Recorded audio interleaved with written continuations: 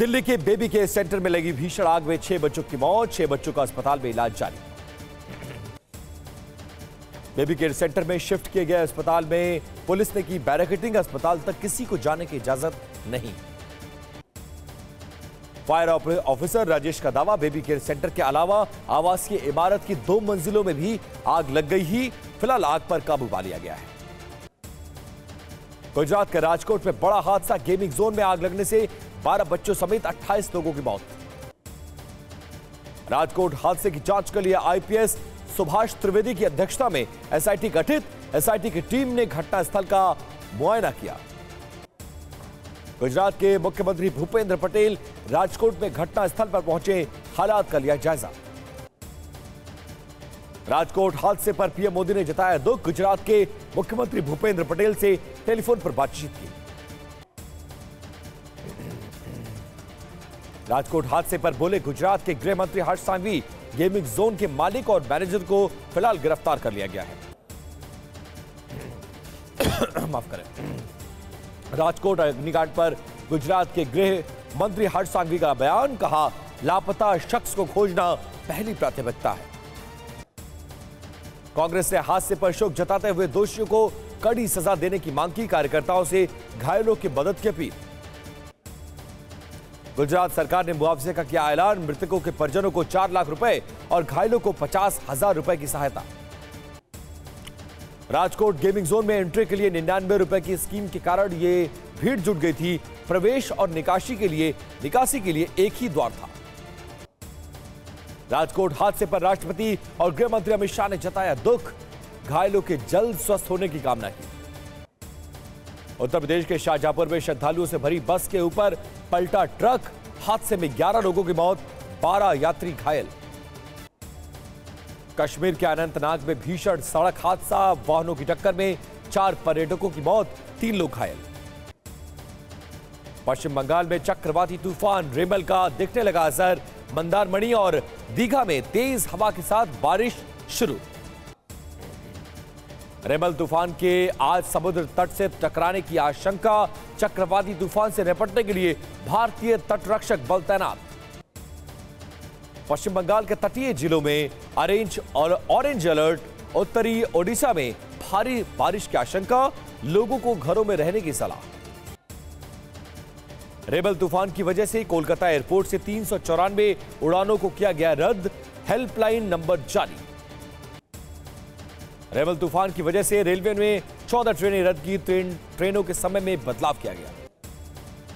कोलकाता में मदद और राहत सामग्री पहुँचाने में जुटी भारतीय नौसेना, गोताखोर और बाढ़ राहत टीमें तैनात। लोकसभा चुनाव के आखिरी चरण के लिए प्रचार तेज, पीएम मोदी आज यूपी में तीन जनसभाओं को करेंगे संबोधित। यूपी के मिर्जापुर में सुबह 11 बजे पीएम मोदी की पहली जनसभा, घोसी और बांसगांव में भी करेंगे रैली।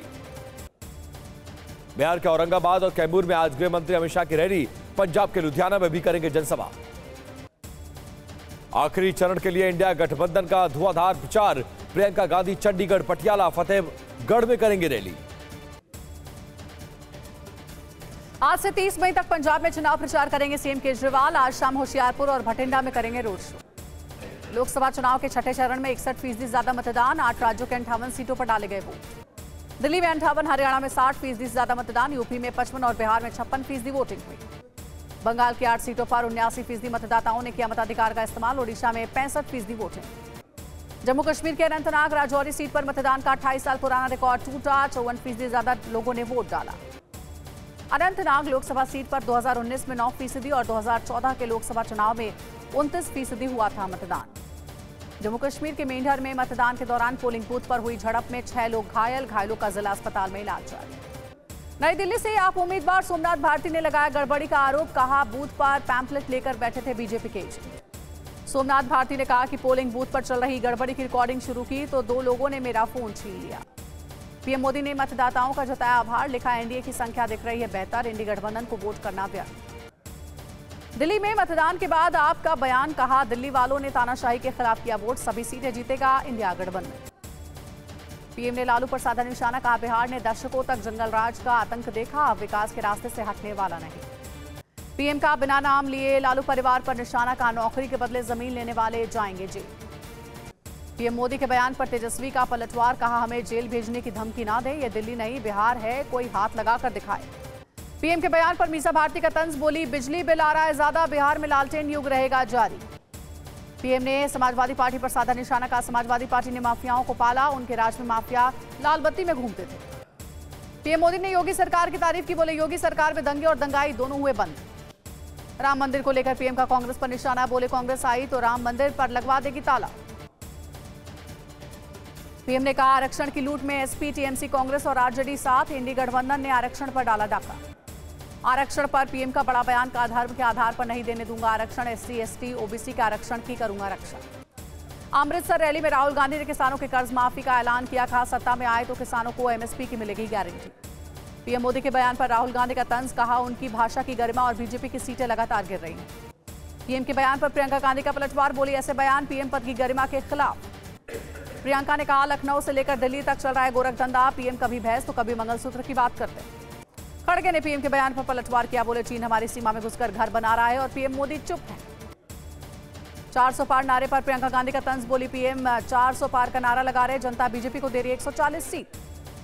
खड़गे ने कहा, संविधान बचाने के लिए लड़ रहे हैं चुनाव, बीजेपी को सबक नहीं सिखाया तो देश में तानाशाही होना तय। अमृतसर रैली में राहुल गांधी ने बीजेपी पर लगाया आरोप, बोले अगर बीजेपी तीसरी बार जीती तो संविधान बदल देगी। अखिलेश ने कहा, बीजेपी की 400 सीटों पर होने जा रही है हार, जनता 140 सीट भी बीजेपी को देने को तैयार है। पीएम के बयान पर अखिलेश ने कहा 10 साल में मोदी जी का हर वादा निकला झूठा, देश में 70 करोड़ लोग हुए बेरोजगार। पीएम मोदी ने राहुल पर कसा तंज, बोले, शहजादों का शटर गिरने वाला है, कांग्रेसी शहजादे ने छुट्टी पर जाने की तैयारी शुरू की। खड़गे के बयान पर मनोज तिवारी ने कहा, कांग्रेस के मुँह से मर्यादा की बात अच्छी नहीं लगती। इंडिया गठबंधन पर केंद्रीय मंत्री गिरिराज सिंह का निशाना, बोले, वो भारत को बनाना चाहते इस्लामिक राष्ट्र बिहार देगा, मुँह तोड़ जवाब। कांग्रेस के बयान पर अमित शाह का तंज, कहा, राहुल बाबा बम से नहीं डरते, आतंकियों का घर में घुसकर करते हैं सफाया अमित शाह ने कहा, कांग्रेस ने कहा था 370 खत्म हुई तो खून की नदियाँ बहेंगी, लेकिन वहाँ किसी की कंकड़ चलाने की हिम्मत अमित शाह ने कहा, राहुल गांधी में नौकरी और पेंशन को लेकर फैलाया भ्रम बार बार बोल रहे हैं झूठ। राहुल गांधी के बयान पर अमित शाह का पलटवार, कहा, राहुल गांधी ने अग्निवीर योजना को लेकर अफवाह फैलाई है। वाराणसी में प्रियंका गांधी और डिंपल यादव ने किया रोड शो, कांग्रेस उम्मीदवार अजय राय के लिए मांगा समर्थन। कांग्रेस महासचिव प्रियंका गांधी और डिंपल यादव ने वाराणसी में काल भैरव मंदिर में की पूजा अर्चना। अकाली दल के आदेश प्रताप कैरो को किया गया निष्कासित, पार्टी विरोधी गतिविधियों में शामिल होने का आरोप। यूपी सीएम योगी आदित्यनाथ आज गाजीपुर के सैदपुर में करेंगे जनसभा, दोपहर डेढ़ बजे के बाद रैली को करेंगे संबोधित।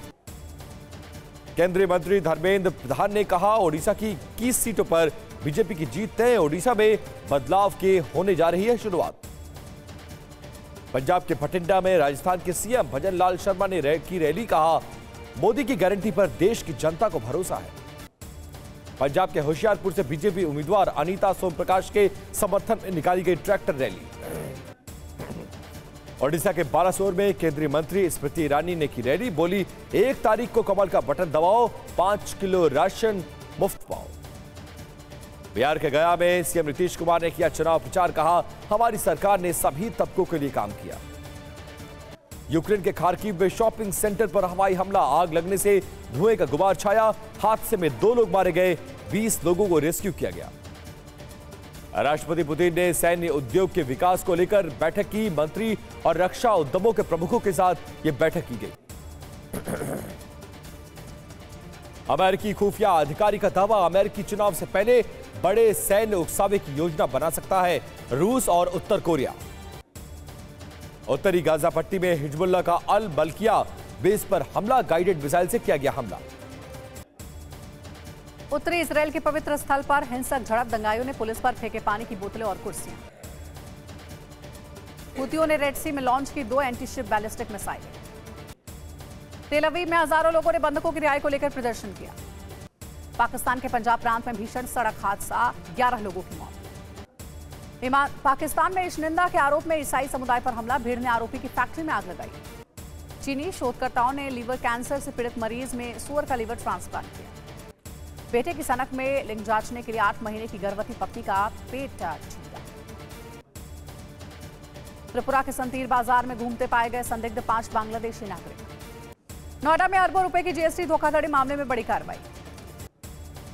धार भोजशाला के गर्भगृह में एसआई की सर्वेक्षण टीम ने जीपीआर मशीन से खुदाई की। नीलगिरी ज़िले में बड़ा तेंदुए का आतंक चेमेंदू के रिहायशी इलाके में घुसे तेंदुए को वन कर्मियों ने रेस्क्यू किया। उत्तराखंड के चमोली स्थित हेमकुंड साहिब के खुले कपाट। राजस्थान में गर्मी ने तोड़े सारे रिकॉर्ड, फलोदी में तापमान 50 डिग्री के पार। वडोदरा ट्रैफ़िक पुलिस की पहल, वाहन चालकों को हीट स्ट्रोक से बचाने के लिए रेड लाइट पर की गई शेड की व्यवस्था। राजस्थान में सीकर ज़िले में नीम का थाना में मिट्टी ढहने से 10 लोग दबे। केरल के कन्नूर में भारी बारिश, कम्युनिस्ट मार्क्सवादी पार्टी ऑफ़ कन्नूर के जिला समिति कार्यालय की दीवार ढही ग्वालियर में गहरा जल संकट, कई कॉलोनियों में टैंकरों के ज़रिए नगर निगम पहुँचा रहा पानी। हिमाचल में सैलानियों के लिए खुला रोहतांग दर्रा। कुल्लू की उपायुक्त ने सुरक्षित रूप से गाड़ी चलाने की अपील। पुणे कार हादसे में मारे गए अनीश और अश्विनी के लिए न्याय की मांग। लोगों ने मॉन कैंडल मार्च निकाला राम मंदिर परिसर में आप नहीं ले जा सकेंगे मोबाइल। सुरक्षा को ध्यान में रखते हुए ट्रस्ट ने लगाया प्रतिबंध। यूपी के सीएम योगी आदित्यनाथ ने काशी विश्वनाथ मंदिर में की पूजा अर्चना। अस्सी घाट पर गंगा आरती में शामिल। आंध्र प्रदेश के नंदयाल में पहुँचे मध्य प्रदेश के मुख्यमंत्री मोहन यादव। स्वामी वरला देवस्थान मंदिर में किए दर्शन। तिरुपति में दर्शन के लिए उमड़ा तीर्थयात्रियों का सैलाब। घंटों लाइन में लगने के बाद दर्शन कर रहे श्रद्धालु। एफआईएच प्रो लीग में भारतीय पुरुष हॉकी टीम की लगातार दूसरी हार, शूटआउट में बेल्जियम से एक तीन से मिली शिकस्त। टी वर्ल्ड कप के लिए भारतीय टीम अमेरिका रवाना, पाँच जून को आयरलैंड के साथ होगा पहला मुकाबला।